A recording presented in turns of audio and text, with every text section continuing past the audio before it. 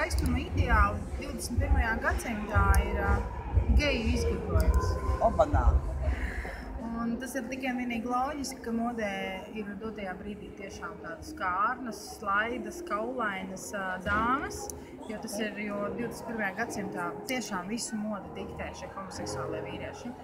Līdz ar to varētu teikt, ka viņa priekšstati par skaistu ir diezgan aplami.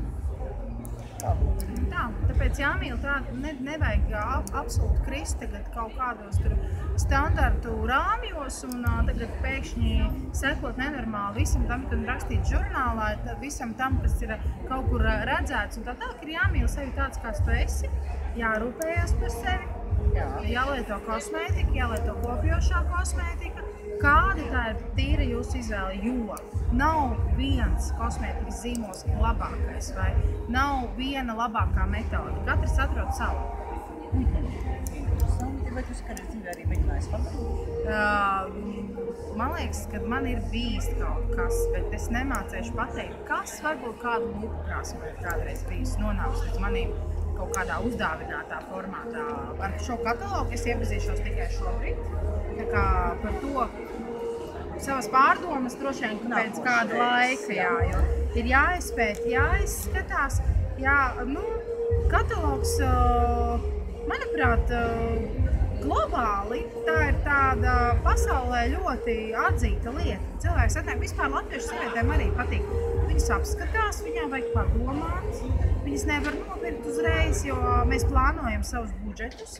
Tāpēc katalogs ir ļoti laba, vē- informatīvs arī avots, kur tu vari noskaidrot uh, visu kaut kādas lietas. Tālāk jau atliek noriskēt, izmēģināt un saprast, patīk vai nepatīk, un vai labi jūtās ārā. Bet es teiktu tā, ka nu nav patīk šādi iepirkties, vienam patīk šis privātais kontakts uz dīvāna, citam patīk iet uz veikalu. Nav vietas noteiktas uh, metodas, uh, kā būtu jāiegādājas kosmētikas. Jā. Kā es tevi pazīstu tā stilisti. Jā.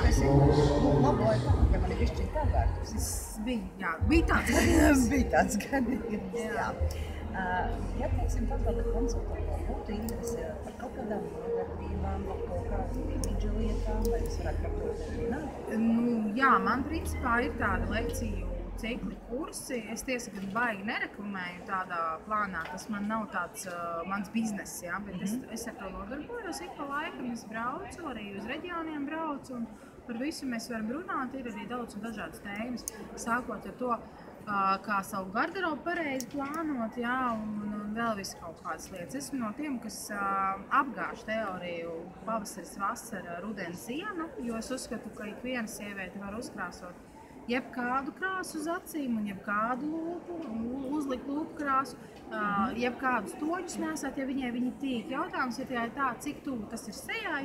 Un, kā, kā tas viss atstrojās tev uz sejas ātrāk? Principā es teiktu, ka rēti ir tādi toņi, kuri nepiestāv. Pārsvarā piestāv visi. Vajag tikai pareizi uzkrāsoties. Vajag izcelt sevī to, kas ir jāizceļ. Un tu, jūs principā varat tikai iemācīties, ja Nu, principā es vienkārši varu pierādīt. Es, reāli, es to varu vienkārši pierādīt reālā praksē. Ja? Ir, eh, var reālā praksē pierādīt to, ka var nesāt visu. Es pat arī, uh, man ir bijuši melni mati, man ir bijuši sarkani mati, man ir bijuši violeti mati, man ir bijuši rozā mati. Nu, kā tas ir iespējams? Ja? Nu, pēc būtības, pēc teorijas tas nav iespējams, jo pēc teorijas atbilst kaut kādam konkrētam uh, pavasarim vai vasarai vai vēl kaut kam, man ir jābūt.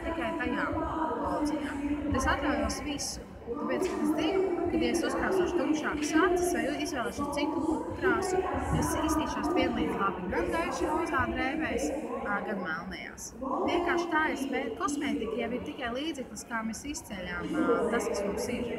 Tas ir tikai tāds, kas mēs tāds piešpricam mūsu vizuālajiem tēlam. Bet, ja prasa man par uh, accessoriem vispār kā tādiem, kas ir sievietes, man kādreiz kāds prasa par to, kas ir sievietes, uh, nezinu, rokas somiņā vai vēl kaut kas, kas ir vissvarīgākais, tad tās ir smaržas. Kā? Jo smaržas ir vissvarīgākais sievietes accessors. Nu, tāpēc, ka tā tiešām ir uh, accessors, kas ir piešprici mūsu personību. Mēs varam būt neuzkrāsoši, mums vienmēr labi jāskatā. Tas Nē, brošas ir vispār prošlīvei. Prošlīvei. Un visas teorijas par to, ka jāvelk obligāti horizontāls, ja tas lielu, jāvelk šaulas un krēlis, aizmirstiet. Tā ir teorija, tā ir klasika, kura reāli strādā. Bet padomāsim pašas, uzvelkam mēs tagad garu krēli. Krūtis mums ir lielas, un tad mēs ejam, un tad tās krēles uz vienu, uz otru pusi staigām, un tur beig, beigās mēs iekonturējam kādu no krūtīm ar tām krēlēm.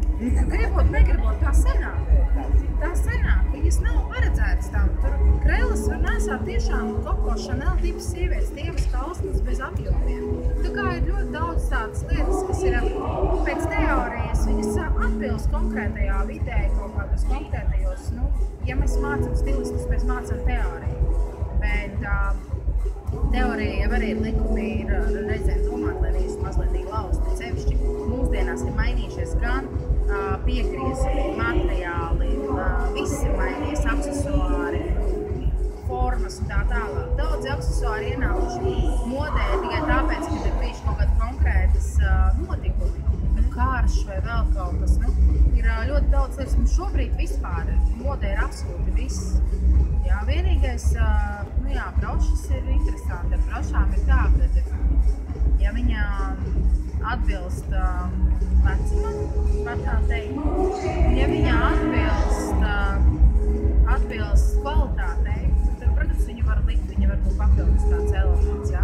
Bet ja viņa ir uh, homemade, apdedzinātas maliņas, puķītes un uh, kumbiņas vispārējais, tas ir krīzes laikā aksesuāri. Tad, kad mēs neko nevarējām nopirkt, tad mēs tādas taisījām. Tagad ir tāda pārbagātība, mums nav jātaisa, jo mēs varam dabūt daudz labākā kvalitātē visas tās lietas. Tā, tā kā tur ir daudz un dažādas lietas, ko es varu pastāstīt. Tā kā droši var zvanīt, var tādu lekciju izveidot, savākt lielu pāri klāt. Pa naudu, protams, zināšanas maksā naudu. Ko es saprotu? Paldies, Indra. Tiešām bija nevienu satikt. Nav par ko. Izgriez, izgriez lieko.